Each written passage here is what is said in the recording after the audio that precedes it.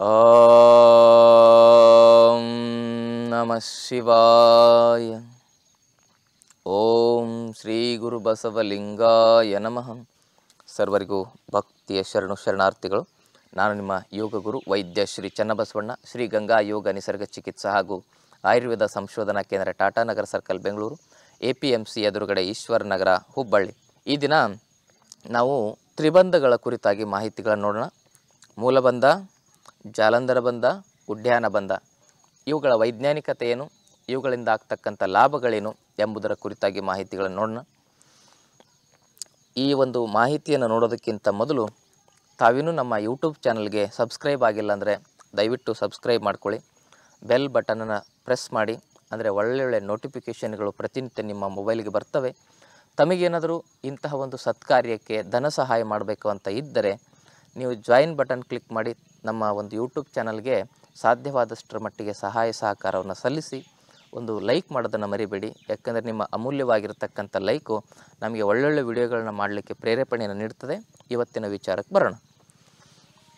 ಮೊದಲನೆಯ ಮುದ್ರೆ, ಮೊದಲನೆಯ ಒಂದು ಬಂಧ ಯಾವುದು ಅಂದರೆ ಮೂಲ ಬಂಧ. ಮೂಲ ಅಂದರೆ ಗುದದ್ವಾರ. ಆ ಗುದದ್ವಾರವನ್ನು ಲಾಕ್ ಮಾಡದೆ ಮೂಲ ಬಂಧ. ಅಂದರೆ ಯಾವಾಗ ಮೂಲಾಧಾರ ಚಕ್ರ ಆಕ್ಟಿವೇಟ್ ಆಗುತ್ತೆ, ಅದು ಸರಿಯಾಗಿ ಕ್ರಿಯಾಶೀಲವಾಗುತ್ತೆ, ಆವಾಗ ನಮ್ಮ ಕುಂಡಲಿನಿ ಶಕ್ತಿ ಆಕ್ಟಿವೇಟ್ ಆಗ್ತದೆ. ಕುಂಡಲಿನಿ ಸರ್ಪ ಇರ್ತದಲ್ಲ, ಅದು ಹೀಗೆ ಕೆಳಗಡೆ ಮುಖ ಮಾಡಿ ಕುತ್ಕೊಂಡಿರುತ್ತೆ. ಅದನ್ನು ತಿರುಗಿಸ್ಬೇಕು ಊರ್ಧ್ವಮುಖವಾಗಿ ಅದನ್ನು ತಿರುಗಿಸ್ಬೇಕು. ಅದನ್ನು ತಿರುಗಿಸ್ಬೇಕಂದ್ರೆ ಸಾಧಕ ಮೊದಲು ಮಾಡಬೇಕಾಗಿರ್ತಕ್ಕಂಥದ್ದೇ mulabandha. It is spiritual process ಇದು ಆಧ್ಯಾತ್ಮಿಕ ಸಾಧನೆಗಾಗಿ. ಇನ್ನು ಇದು ವೈಜ್ಞಾನಿಕವಾಗಿ ನಮ್ಮ ರೋಗ ರುಜಿನಗಳನ್ನು ನಿವಾರಣೆ ಮಾಡಲಿಕ್ಕೆ ಹೇಗೆ ಸಹಕಾರ ಮಾಡುತ್ತೆ? ಮೂಲಬಂಧ ಯಾವ ಯಾವ ಕಾಯಿಲೆಯನ್ನು ಸರಿಪಡಿಸುತ್ತೆ?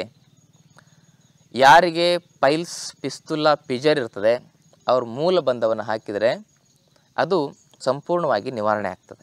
ಜೊತೆಗೆ ಈ ಸಮಸ್ಯೆ ಇರ್ತಕ್ಕಂಥವ್ರು ಮುಟ್ಟಿದ್ರ ಮುನಿ ಸೊಪ್ಪಿರ್ತದಲ್ಲ ಟಚ್ ಮೀ ನಾಟ್ ಅಂತ ಕರೀತಾರೆ. ಅದನ್ನು ಚೆನ್ನಾಗಿ ಅರೆದು ಪೇಸ್ಟನ್ನು ತೆಗೆದುಕೊಂಡು ಆ ಮೂಲದ್ವಾರಕ್ಕೆ ಮೂಲ ದ್ವಾರಕ್ಕೆ ಅಂದರೆ ಗುದದ್ವಾರಕ್ಕೆ ಹಚ್ಚಬೇಕು ರಾತ್ರಿ ಹಚ್ಚಿ ಮಲ್ಕೋಬೇಕು. ಇದನ್ನು ಮಾಡೋದ್ರಿಂದ ಅದು ಸಂಪೂರ್ಣ ಗುಣ ಆಗ್ತದೆ. ಇದರಲ್ಲಿ ಒಂದು ಟಿಪ್ಸ್ ಚಿಕ್ಕದಾಗಿ ಹೇಳಿದೆ ನಿಮಗೆ. ಇನ್ನು ಈ ವಿಚಾರಕ್ಕೆ ಮುಂದುವರಿಯೋಣ. ಈ ಒಂದು ಮೂಲ ಬಂಧವನ್ನು ಹಾಕೋದ್ರಿಂದ ಗುದದ್ವಾರದ ಸರ್ವ ಸಮಸ್ಯೆಗಳು ದೂರ ಆಗ್ತವೆ. ಜೊತೆಗೆ ನಪುಂಸಕತ್ವ. ಭಾಳ ಜನರಿಗೆ ಸ್ಪರ್ಮ್ ಕೌಂಟು ಭಾಳ ಕಡಿಮೆ ಇರ್ತದೆ. ಮೋಟಿಲಿಟಿ ತುಂಬ ಕಡಿಮೆ ಇರ್ತದೆ. ಆಮೇಲೆ ನಿಮಿರಿನ ದೌರ್ಬಲ್ಯತೆ ಇರ್ತದೆ. ಈ ಥರದ ಎಲ್ಲ ಸಮಸ್ಯೆಗಳನ್ನು ಕೂಡ ಸಂಪೂರ್ಣವಾಗಿ ನಿವಾರಣೆ ಮಾಡತಕ್ಕಂಥ ಒಂದು ಶಕ್ತಿ ಈ ಒಂದು ಮೂಲ ಬಂಧಕ್ಕಿದೆ ಮೂಲ ಬಂಧವನ್ನು ಹಾಕೋದ್ರಿಂದ ಹೆಣ್ಣು ಮಕ್ಕಳಲ್ಲಿ ಹಾರ್ಮೋನ್ ಸಮಸ್ಯೆಗಳು, ಗಂಡು ಮಕ್ಕಳಲ್ಲಿ ಹಾರ್ಮೋನ್ ಸಮಸ್ಯೆಗಳು ನಿವಾರಣೆ ಆಗ್ತವೆ. ಪ್ರೊಜೆಸ್ಟರಾನ್, ಟೆಸ್ಟೋಸ್ಟಿರಾನಿನ್, ಇಸ್ಟ್ರೋಜನ್ ಅಂತಕ್ಕಂಥ ಹಾರ್ಮೋನ್ಗಳು ಇಂಬ್ಯಾಲೆನ್ಸ್ ಆದಾಗ ಈ ರೀತಿ ಸಮಸ್ಯೆಗಳು ಬರ್ತವೆ. ಭಾಳ ಜನರಿಗೆ ಎಲ್ಲ ರಿಪೋರ್ಟ್ ನಾರ್ಮಲ್ ಇದ್ದಾಗೂ ಕೂಡ ಮಕ್ಕಳಾಗೋದಿಲ್ಲ. ಯಾಕಂದರೆ ಅಲ್ಲಿ ಗರ್ಭ ಶಿಥಿಲತಾ ವೀರ್ಯ ಶಿಥಿಲತಾ ಇರ್ತದೆ. ವೀರ್ಯದಲ್ಲಿ ಶಕ್ತಿ ಇರೋದಿಲ್ಲ. ಎಲ್ಲ ಕೌಂಟ್ಸ್ಗಳು ಸರಿಯಾಗಿದ್ದರೂ ಕೂಡ ಒಳಗಡೆ ಒಂದು ಎನರ್ಜಿ ಅಂತ ಇರಬೇಕಾಗುತ್ತೆ. ಅದಕ್ಕೆ ವೀರ್ಯ ಶಿಥಿಲತಾ ಅಂತ ಕರೀತಾರೆ. ಜೊತೆಗೆ ಗರ್ಭ ಶಿಥಿಲತಾ ಅಂತ ಕರೀತಾರೆ. ಇಂತಹ ಶಿಥಿಲತೆಯನ್ನು ಗಟ್ಟಿಗೊಳಿಸ್ತಕ್ಕಂಥ ಶಕ್ತಿ ಈ ಒಂದು ಮೂಲಬಂಧಕ್ಕಿದೆ. ಹಾಗಿದ್ರೆ ಇದನ್ನು ಹಾಕೋದು ಹೇಗೆ? ದೀರ್ಘವಾಗಿ ಶ್ವಾಸವನ್ನು ತೆಗೆದುಕೊಳ್ಳಿ, ಸಂಪೂರ್ಣವಾಗಿ ಶ್ವಾಸವನ್ನು ಬಿಡಿ. ಗುದದ್ವಾರವನ್ನು ಒಳಗಡೆ ಆಕುಂಚನ ಮಾಡಿ, ಎಳಿಬೇಕು. ಯಾವಾಗ ಹೊರಗಡೆ ಶ್ವಾಸವನ್ನು ಬಿಟ್ಟು ಹೊರಗಡೆನೇ ಶ್ವಾಸವನ್ನು ಹೋಲ್ಡ್ ಮಾಡಬೇಕು. ಉಸಿರು ಒಳಗಡೆ ಇರಬಾರ್ದು, ಉಸಿರು ಒಳಗಡೆ ಇದ್ದರೆ ಎಳಿಲಿಕ್ಕಾಗೋದಿಲ್ಲ.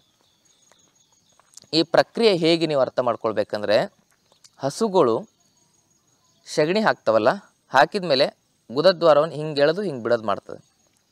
ಆಕುಂಚನ ಕುಂಚನ ಪ್ರಸಾರಣ ಮಾಡುತ್ತೆ ನೋಡಿ. ಅದು ಹೆಂಗೆ ಎಳಿತದಲ್ಲ, ಹಾಗೆ ನಿಮ್ಮ ಗುದದ್ವಾರವನ್ನು ಮೇಲೆ ಎಳಿಬೇಕು ಸಕ್ ಮಾಡಿ ಗಟ್ಟಿಯಾಗಿ ಹಿಡ್ಕೋಬೇಕು ಎಷ್ಟೊತ್ತಾಗುತ್ತೋ ಅಷ್ಟೊತ್ತು ಹಿಡ್ಕೊಂಡು ಆಮೇಲೆ ಉಸಿರನ್ನ ತೆಗೆದುಕೊಳ್ತಾ ರಿಲ್ಯಾಕ್ಸ್ ಮಾಡಬೇಕು. ಇದು ಮೂಲ ಬಂಧದ ಪ್ರಕ್ರಿಯೆ ಆಯಿತು. ಇದನ್ನು ಯಾವಾಗ ಮಾಡಬೇಕು ಅಂದರೆ ಬೆಳಗ್ಗೆ ಖಾಲಿ ಹೊಟ್ಟೆಯಲ್ಲಿ ಅಭ್ಯಾಸ ಮಾಡಬೇಕು. ಮೂಲಬಂಧವನ್ನು ಖಾಲಿ ಹೊಟ್ಟೆಯಲ್ಲೇ ಅಭ್ಯಾಸ ಮಾಡಬೇಕು, ಬೆಳಗ್ಗೆನೇ ಅಭ್ಯಾಸ ಮಾಡಬೇಕು. ಹೀಗೆ ಈ ಮೂಲಬಂಧವನ್ನು ನೀವು ಮಾಡಬೇಕಾಗ್ತದೆ. ಮೂಲಬಂಧವನ್ನು ನೀವು ಮಾಡೋದರಿಂದ ಇನ್ನೊಂದಿಷ್ಟು ಲಾಭಗಳು ಏನಾಗ್ತವೆ ಅಂದರೆ ನಿಮ್ಮ ಕುಂಡಲಿನಿ ಶಕ್ತಿ ಮೂಲಕ ನಿಮ್ಮ ವೀರ್ಯ ಏನಾಗ್ತದೆ ಅಂದರೆ ಊರ್ಧ್ವಮುಖವಾಗಿ ಸಂಚಾರ ಮಾಡ್ತಾ ಹೋಗ್ತದೆ. ನೋಡಿ ಭಾಳ ಜನರಿಗೆ ವೀರ್ಯ ವೃದ್ಧಿ ಯಾಕೆ ಮಾಡ್ಕೊಳ್ಬೇಕು ಅಂತಲೇ ಗೊತ್ತಿಲ್ಲ. ವೀರ್ಯ ವೃದ್ಧಿ ಮಾಡ್ಕೊಳ್ಳೋದು ಯಾವುದಕ್ಕೆ ಅಂದರೆ ಆರೋಗ್ಯಕ್ಕಾಗಿ, ಭೋಗಕ್ಕಾಗಿ ಅಲ್ಲ. ವೀರ್ಯ ಭೂಲೋಕದ ಅಮೃತ. ಯಾಕಂದರೆ ಒಂದು ಹನಿ ವೀರ್ಯದಲ್ಲಿ ಲಕ್ಷಾಂತರ ಜೀವರಾಶಿಗಳನ್ನು ಸೃಷ್ಟಿ ಮಾಡ್ತಕ್ಕಂಥ ಶಕ್ತಿ ಇದೆ. ಒಂದೇ ಒಂದು ಹನಿ ವೀರ್ಯದಲ್ಲಿ. ಅದು ಸುವರ್ಣ ಲೋಹಕ್ಕಿಂತಲೂ ಬಹಳ ಪವಿತ್ರವಾಗಿರ್ತಕ್ಕಂಥದ್ದು. ವಜ್ರಕ್ಕಿಂತಲೂ ಬಹಳ ಸ್ಪಷ್ಟವಾಗಿ ಟ್ರಾನ್ಸ್ಪರೆಂಟ್ ಆಗಿರ್ತಕ್ಕಂಥದ್ದು. ಭಾಳ ಅದ್ಭುತವಾಗಿರ್ತಕ್ಕಂಥ, ಗಟ್ಟಿಯಾಗಿರ್ತಕ್ಕಂಥದ್ದು. ಶರೀರದಲ್ಲಿ ವೀರ್ಯಗಳು ಯಾಕೆ, ವೀರ್ಯಾಣುಗಳು ಎದಕ್ಕೆ ಬೇಕು ಅಂದರೆ ಗಟ್ಟಿಯಾಗಲಿಕ್ಕೆ. ಭಾಳ ಜನರಿಗೆ ನಾವು ಆಯುರ್ವೇದದಲ್ಲಿ ಔಷಧಿಗಳನ್ನ ಕೊಡ್ತೇವೆ. ವೀರ್ಯ ವೃದ್ಧಿಗೆ ಅದು ವೀರ್ಯ ವೃದ್ಧಿಗೆ ಬರೀ ಈ ಒಂದು ಸಂಭೋಗಕ್ಕಾಗಿ ಅಷ್ಟೇ ಕೊಡೋದಿಲ್ಲ. ಭಾಳ ಜನರಿಗೆ ಸ್ಟ್ರೋಕ್ ಆಗಿರುತ್ತೆ.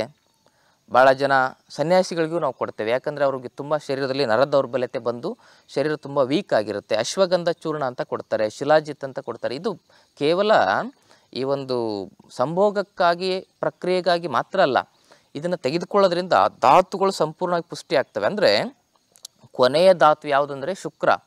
ಆ ಶುಕ್ರ ಧಾತು ಪುಷ್ಟಿ ಆದರೆ ಶರೀರ ಸಂಪೂರ್ಣವಾಗಿ ಆರೋಗ್ಯಯುತವಾಗಿರ್ತದೆ. ರೋಗ ಪ್ರತಿರೋಧಕ ಶಕ್ತಿ ಗಟ್ಟಿಯಾಗಿರುತ್ತೆ. ಅದಕ್ಕೆ ಈ ವೀರ್ಯವನ್ನು ಏನು ಮಾಡ್ತದೆ ಅಂದರೆ ಮೂಲಬಂಧ ಹಾಕೋದ್ರಿಂದ step by step step by step step by step step by step ಮೇಲೆ ತೆಗೆದುಕೊಂಡು ಹೋಗ್ತದೆ. ಇಲ್ಲಿ ಸಹಸ್ರಾರ ಧಮ, ದಳದ ಕಮಲದವರೆಗೆ ಯಾವಾಗ ವೀರ್ಯ ಪ್ರಸಾರ ಆಗ್ತದೆ, ಆವಾಗ ಮನುಷ್ಯನ ಜೀವನ ಬಹಳ ಶಾಶ್ವತ ಸುಖದಿಂದ ಕೂಡಿರ್ತದೆ. ನಾವು ಕ್ಷಣಿಕ ಸುಖಕ್ಕಾಗಿ ಆಸೆ ಪಡ್ತಾ ಇದ್ದೇವೆ ಈಗ ನೋಡಿ, ಏನಾದರೂ ಒಂದು ಪಾನಿಪುರಿ ತಿನ್ಬೇಕಾದ್ರೆ ತಿನ್ನೋ ಸಂದರ್ಭದಲ್ಲಿ ಖುಷಿ ಆಗುತ್ತೆ. ತಿಂದ ಮೇಲೆ ಐದು ನಿಮಿಷ ಆದಮೇಲೆ ಅದು ಹೋಗ್ಬಿಡುತ್ತೆ. ಆ ಟೆಂಪ್ಟೇ ಹೋಗ್ಬಿಡುತ್ತೆ. ಟಿ ವಿ ನೋಡೋ ಸಂದರ್ಭದಲ್ಲಿ ನೋಡೋ ಸಂದರ್ಭದಲ್ಲಿ ಖುಷಿಯಾಗಿರುತ್ತೆ ಟಿ ವಿ ಆಪ್ ಆದರೆ ಇರಲ್ಲ. ಆದರೆ ಶಾಶ್ವತ ಸುಖ ಅಂದರೆ ವೀರ್ಯವಾನ್ ಅಂತ ಅರ್ಥ.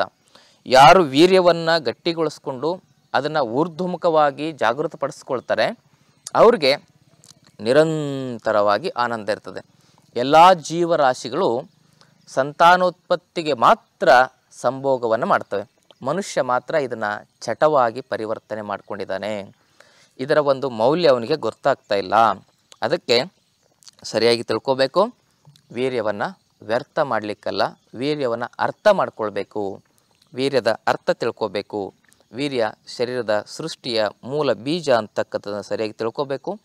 ಹಾಗಾಗಿ ಈ ಒಂದು ಶರೀರದಲ್ಲಿರ್ತಕ್ಕಂಥ ಎಲ್ಲ ಅಂಶಗಳನ್ನು ಕೂಡ ಜಾಗೃತಪಡಿಸಿ, ನಮ್ಮ ಸಪ್ತ ಧಾತುಗಳನ್ನು ಜಾಗೃತಪಡಿಸಿ, ವೀರ್ಯವನ್ನು ಸಂಪೂರ್ಣವಾಗಿ ಊರ್ಧ್ವಮುಖವಾಗಿ ಸಂಚಾರ ಮಾಡಲಿಕ್ಕೆ ಸಹಕಾರ ಕೊಡ್ತಕ್ಕಂಥ ಒಂದು ಪ್ರಕ್ರಿಯೆನೇ ಈ ಒಂದು ಮೂಲಬಂಧದ ಪ್ರಕ್ರಿಯೆ. ಇದನ್ನು ಪ್ರತಿನಿತ್ಯ ಅಭ್ಯಾಸ ಮಾಡಿ, ಯಾರು ಅಭ್ಯಾಸ ಮಾಡಬಾರ್ದು ಅಂದರೆ ಹೃದಯದ ಸಮಸ್ಯೆ ಇರತಕ್ಕಂಥವ್ರು, ಬಿ ಪಿ ಸಮಸ್ಯೆ ಇರತಕ್ಕಂಥವ್ರು ಜೊತೆಗೆ ಜಾಸ್ತಿ ಈ ಒಂದು ಇಂಟ್ರೆಸ್ಟೈನಲ್ಲಿ ತೊಂದರೆ ಇರ್ತಕ್ಕಂಥವ್ರು. ಭಾಳ ಜನರಿಗೆ ಇಂಟ್ರೆಸ್ಟೈನಲ್ಲಿ ಭಾಳ ತೊಂದರೆಗಳಿರ್ತವೆ. ಕ್ರಾನ್ಸ್ ಅಂತ ಡಿಸೀಸ್ ಇರುತ್ತೆ. ಆಮೇಲೆ ಬೇರೆ ಬೇರೆ ಸಮಸ್ಯೆಗಳಿರ್ತವೆ. ಅಂತಹ ಸಮಸ್ಯೆ ಇರ್ತಕ್ಕಂಥವ್ರು ಮಾಡಬಾರ್ದು. ಅಕಸ್ಮಾತ್ ಅವಶ್ಯಕತೆ ಇದ್ದಾಗ ಮಾಡಬೇಕಾಗ್ತದೆ. ಅದು ಗುರುಗಳ ಮಾರ್ಗದರ್ಶನದಲ್ಲೇ ಮಾಡಬೇಕಾಗ್ತದೆ. ಇಂತಹ ಪ್ರಕ್ರಿಯೆಯನ್ನು ಅನುಭವಿ, ನುರಿತ ಗುರುಗಳ ಮಾರ್ಗದರ್ಶನದಲ್ಲಿ ಮಾಡಿ. ಇವಾಗಂತೂ ಪ್ರತಿಯೊಂದು ಜಿಲ್ಲೆಗಳಲ್ಲಿ, ಪ್ರತಿಯೊಂದು ತಾಲೂಕಿನಲ್ಲೂ ಯೋಗ ಗುರುಗಳಿದ್ದಾರೆ. ಚಾಯ್ಸ್ ಮಾಡ್ಕೊಳ್ಳಿ. ಯೋಗ ಮಾಡಿ. ಇದು ಔಷಧಿ ರಹಿತವಾಗಿರ್ತಕ್ಕಂಥ ಆರೋಗ್ಯ. ಜೊತೆಗೆ ನಾವು ಕೂಡ ಶಿಬಿರಗಳನ್ನು ಆಯೋಜನೆ ಮಾಡ್ತೇವೆ. ಪ್ರತಿಯೊಂದು ಜಿಲ್ಲೆಗಳಲ್ಲೂ ನಾವು ಶಿಬಿರ ಆಯೋಜನೆ ಮಾಡಬೇಕಂತ ಇದೆ. ಉಚಿತವಾಗಿ ಮಾಡಬೇಕಂತ ಇದೆ. ನಿಮ್ಮ ಜಿಲ್ಲೆಯಲ್ಲಿ ನೀವು ಮಾಡಿಸ್ಬೇಕಂದ್ರೆ ಒಂದೆರಡು ತಿಂಗಳು ಮುಂಚಿತವಾಗಿ ನಮ್ಮನ್ನು ಸಂಪರ್ಕ ಮಾಡಿ ನಾವು ನಿಮ್ಮ ಜಿಲ್ಲೆಗೆ ಬಂದು ಉಚಿತವಾಗಿ ಯೋಗ ಶಿಬಿರವನ್ನು ಮಾಡ್ತೇವೆ. ಅಲ್ಲಿ ಎಲ್ಲ ಆರೋಗ್ಯದ ಮಾಹಿತಿಗಳನ್ನು ಕೂಡ ನಿಮಗೆ ಮುಕ್ತವಾಗಿ ನಾವು ಹಂಚ್ಕೊಳ್ತೇವೆ ಅಂತಕ್ಕಂಥ ಮಾತನ್ನು ಹೇಳ್ತಾ, ನಮ್ಮ ಆಶ್ರಮಕ್ಕೂ ಕೂಡ ನೀವು ಶಿಬಿರಗಳಿಗೆ ಅಟೆಂಡ್ ಆಗ್ಬೋದು. ಅಂತಹ ಆಸಕ್ತಿ ಇರೋರು ನಾವು ಡಯಾಬಿಟಿಸ್ ಮುಕ್ತ ಶಿಬಿರ ಬಿ ಪಿ ಮುಕ್ತ ಶಿಬಿರ, ಆಮೇಲೆ ಹೃದಯದ ಸಮಸ್ಯೆಗಳಿಂದ ಮುಕ್ತ ಶಿಬಿರ ಅಂಥೇಳಿ ಸುಬಿ, ಶಿಬಿರಗಳನ್ನು ಮಾಡ್ತೇವೆ. ಅಲ್ಲಿ ತಾವು ಸೇರ್ಕೊಳ್ಬೋದು ಅಂತಕ್ಕಂಥ ಮಾತನ್ನು ಹೇಳ್ತಾ ನಮ್ಮ ಆಶ್ರಮಕ್ಕೆ ಬಂದರೆ ಉಚಿತವಾಗಿರೋದಿಲ್ಲ. ಯಾಕೆಂದರೆ ನಾವು ಕೂಡ ಕೆಲವೊಂದಿಷ್ಟೆಲ್ಲ ನಿಭಾಯಿಸಬೇಕಾಗ್ತದೆ. ಅದಕ್ಕೆ ತಕ್ಕ ಹಾಗೆ ನಿಮಗೆ ಪೀಸನ್ನು ಕೂಡ ನಿಮಗೆ ನಾವು ಹೇಳ್ತೇವೆ. ಅದನ್ನು ನೀವು ಕಟ್ಟಿ ಈ ಒಂದು ತರಬೇತಿಯನ್ನು ಪಡ್ಕೊಳ್ಬೋದು. ತಮ್ಮೆಲ್ಲರಿಗೂ ಭಕ್ತಿಯ ಶರಣು, ಶರಣಾರ್ಥಿಗಳು.